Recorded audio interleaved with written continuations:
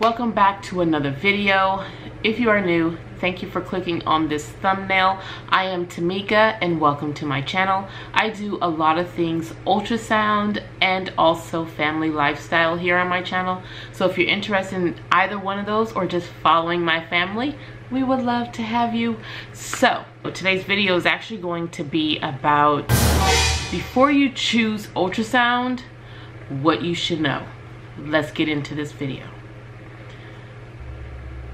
I have five tips for you today. And the first one is school is hard. I'm not gonna lie to you. Um, so previous videos I've said, you know, school is what you pretty much make it and it could be easy or it could be hard. No, it's just flat out hard.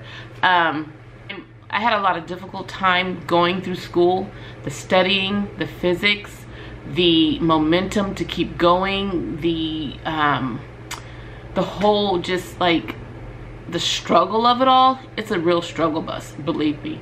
Um, I don't believe it's a easy roller coaster up and down. No, it's a lot of turns, loops, ups and downs, taking your breath away. It's you you have to be motivated you have to be motivated for this field um, any field actually but the physics portion could really get to you learning the anatomy could get to you if you don't know anything about the body and you're trying to learn like what the normal values are of a liver or a pancreas or the thyroid i mean all of it could be very overwhelming entering this field going to school it's going to be hard but you can do it if you put your mind to anything, you could do anything you want.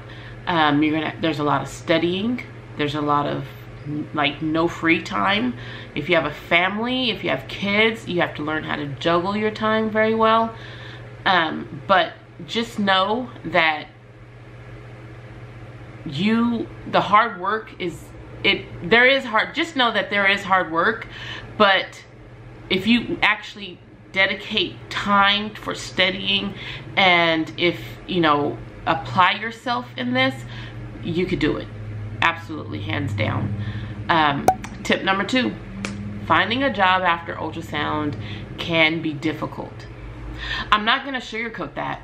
Finding a job can be difficult but you're going to have to put in the work.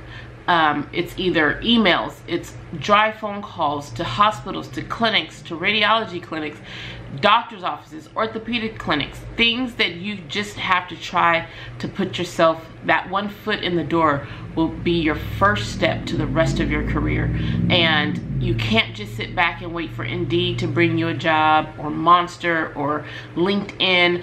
Those are all great avenues however or search engines but you can't just depend on those. You're gonna actually have to do the work it's getting on the computers it's calling the hospitals it's calling the lead techs it's putting yourself out there and letting them know hey i finished school I put in my time. I need someone to give me an opportunity to prove myself and also to get myself in the door. I mean, a lot of jobs right now are off fresh out of school. They don't really want you. They want that person with at least one to three years of experience. So, like I said, the opportunities are out there, but you're gonna have to dig for them. They're not gonna just be laid to you on a platter and served to you that way.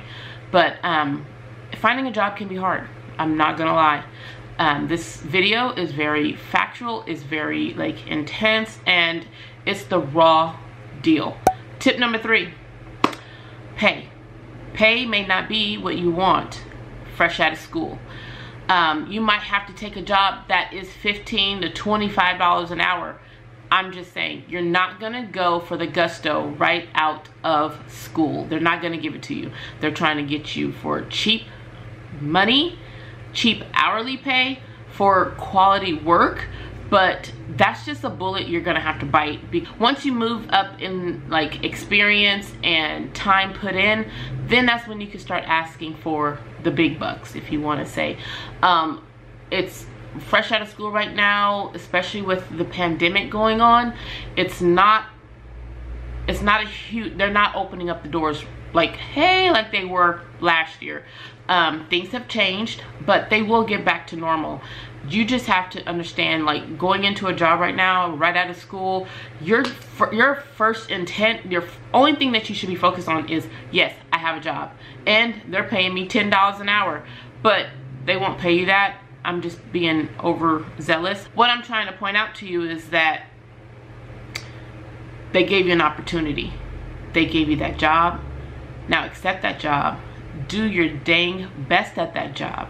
Show them that, oh my gosh, like she's really, she shows up to work on time, she's applying herself, and she is doing what we're asking. She's doing the patients, she's keeping up with patient flow. She has, she's not a thorn to the facility, the, the, the staff here. She's actually putting in her worth, and we're gonna have to honor that. So, right after right off the bat they're probably not to pay you what you want your ideal rate is you know just say 45 out of the out out of school.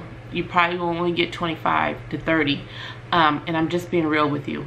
But that's only for like maybe the six like first six months to a year being in this field. After that you could ask. Once you get your registries once you get multiple registries once you get that one year under your belt then you can ask for the world. Until then, you're you're pretty much kind of playing it by their game, and that's just the harsh reality of it. Um, will you stay there? No, absolutely not. My first job, $21 an hour. Now, I can go into the door asking, no, this is what I want. I want this much money. I want this much pay per hour. I want this much pay per patient. I could go in and ask for those things because I've done my due diligence. I've done the work. I've, I could show them. They know that my 20 years of experience is really going to help their establishment. So when you apply for a job and you're just now getting out of school, they're pretty much looking at you, okay, well, we could replace her if she's not good, so we're not gonna give her top money, or we could replace him, he's not that good, or whatever. So, going in the door, first job, you have to shine. One, that's your, like, you have to shine. That is, like, one, that is your recommendation for your next job.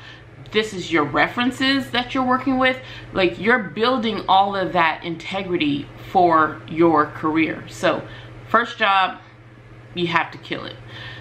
Rule number four, working hours. Working hours are not going to be your typical 8 to 5. If you find that, that is ideal. However, just know you might have to be per diem, which means, hey, Susie called in and we need you to come in like from 1 to 7.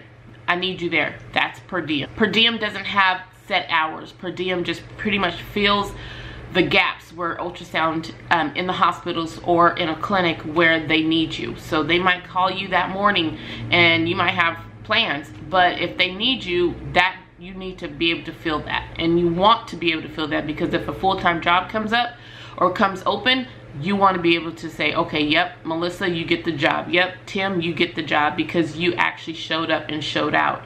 Um, but if you're that person, if you per diem and they hire you and they take that chance with you, and every time they call you, you say, oh, I can't cover, I can't do this, they're pretty much are gonna hang the hang the hang up the hook, hang the jacket on the hook. We're done with that person. We're gonna move on to the next. Um, so just know going into your first job, you may not get the hours you want. You might have to work graveyard. You might have to be on call. That's just like again like per diem per diem pretty much is you might be guaranteed eight hours in a week but on call you're not guaranteed any hours they just need you when they call you um, but just know that's that's how it is. You know going out into the field i was blessed to get a full-time job right out of school. Um, and i know a couple of people that have. And so a lot of my students that i've trained have gotten full-time jobs. Um, but you know, again, they're going into a job knowing what it takes to get that job done. They know that they could uphold a 12 patient work list because working with me, you definitely will be um, able to go into a hospital, go into a radiology clinic, and be able to sustain yourself, sustain their work list that they have for you, every tech has a schedule and you will be able to manage that schedule. You're going in the door knowing this. Um, you know how to do a abdomen. I train my techs to do it in 15 minutes or less. You're gonna be able to do an abdomen. You're gonna spend no more than 30 minutes on a pelvic. You're going from a student to a tech once you leave my my training you go on an interview you have to scan for them so when they see their potential when they scan for their interviews or at their interviews they're like oh yeah like she's she could pick up our schedule real quickly it's because that's how I trained them um, a lot of schools will nurture you and get you into the externship but then they kind of forget about you well what about the tools what will I need to know walking into a hospital what will I need to know walking into a radiology clinic if you don't know those things the schools are not going to teach you. They got your money. They don't really want to deal with you after that. And we're going to get you up to this point and that's it. And pretty much, I mean, the harsh reality is, is that you're just money to them. They're training you, they're giving you this information, they're equipping you for an ultrasound job, which is wonderful, which is awesome because if those classes, if those schools were not out there, I wouldn't have a job. I just know that going to colleges, um, like vocational colleges, and they say, oh, you know, our placement is this, or our placement, you know, is 90% after school, or after you graduate, we guarantee you a job. Don't believe in that. Just know that you're getting the education and you're gonna have to find that after school. A lot of schools promote this, but nine times out of 10, they're not gonna help you find a job. So, with knowing that, I'm, I'm just gonna leave it at that. um, I don't want you to get scared. Just know that like my my my school did not help me find a job. Um, my teacher actually, my scanning teacher actually believed in me enough to say, hey Tamika, you're good and you, it's a natural for you. You're just natural and I'm gonna help you apply for this job. Besides that, I wouldn't have had gotten a job at a school if it wasn't for him. So everybody needs a mentor. Everybody needs a little guidance. Um, I'm just putting that out there. And if you don't have that support, you're pretty much on your own. You know, I mean, you would want someone who's vested in this career to kind of like lead you and like, this is the way that you should do it. And so that's what he did for me. And I don't know if you guys know this, but this is a little plug, a little plug before I get to the end of this video. But I did open up a mentorship program. Um, I will leave all the details down below. And once you send me an email, I will forward you an email from me. It does cost, but it's affordable and I do accept payment plans. So I just want to plug that in real fast. But um, because I just want to offer what was given to me. And you know I feel I'm huge at paying it forward. So I had a lot of people take me under their wing believe in me and I just want to do the same for you guys. Details will be down below in the description. Number five we made it to number five. Okay so yes like I've been saying this is a cutthroat type of field. It's fun, it's exciting once you get into it, but before you get there, you're gonna be the low man on the totem pole.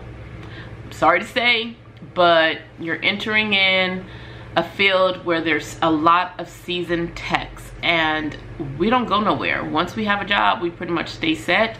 And when you filter through, we kind of evaluate you, which is wrong to do, but they do. Um, if you're not holding up your weight, if you don't know how to scan, if we have to go back and continue to look at your images or the doctor's like, okay, well, Mary Lou, she missed this, then we're gonna we're just gonna tell the radiology supervisors like she's not working, he's not working, it's too much stress for us because here we are, we're doing our patients and we have to go back behind them to look at their exams and their patients. It's it's cutthroat period dot if you don't know how to hold your weight if you don't walk into that place and they're not accepting they're gonna let that radiology manager know and nine times out of ten you'll probably lose your job.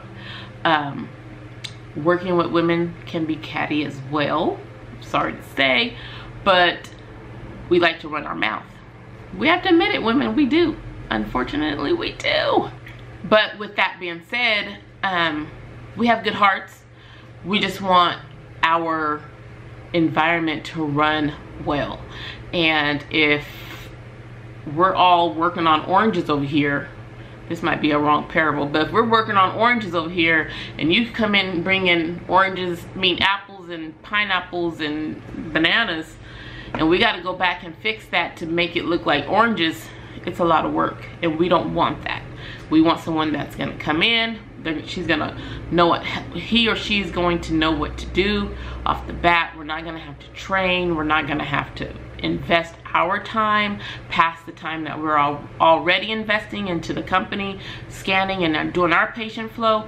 And if you can't hold up your 12 patients and I got my 12 patients and now I'm adding your 12 patients because I got to go back and look and evaluate yours it's a lot. So this field can be cutthroat you can get fired by word of mouth just letting you know.